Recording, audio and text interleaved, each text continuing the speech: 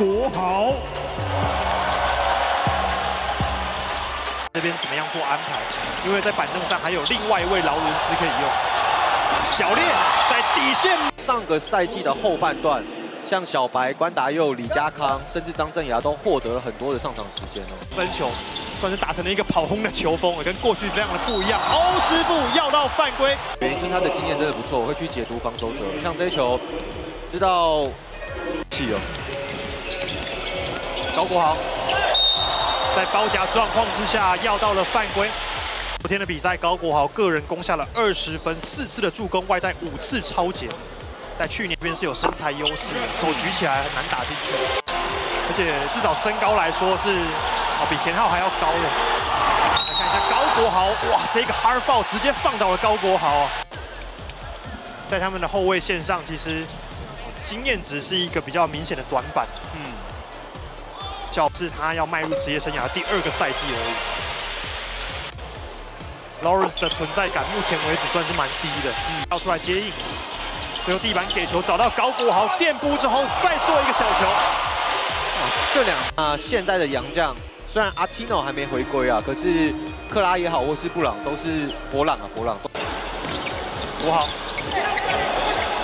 变速之后再交给王子刚，他的热区，工程师就会越缩越小啊。张镇阳目前外线两投两中，高国豪能够还以颜色。他今天，他这两天的状况真的，担心的洋将。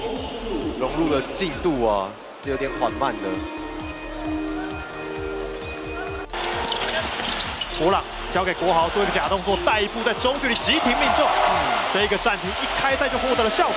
也不是他擅长的。国豪传球找到外围的王子刚。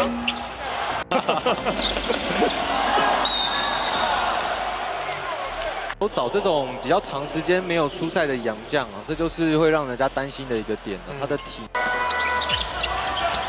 我相信本来找劳伦斯来，应该也是看中他的能力啊。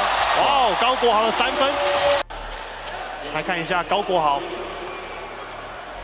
后撤步急停跳投命中，对，这是靠个人能力了。对，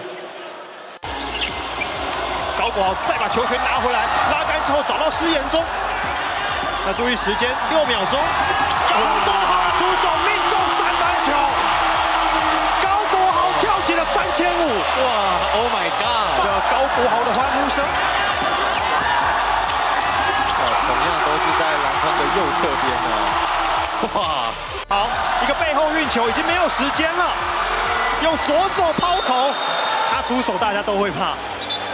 我这球我还好。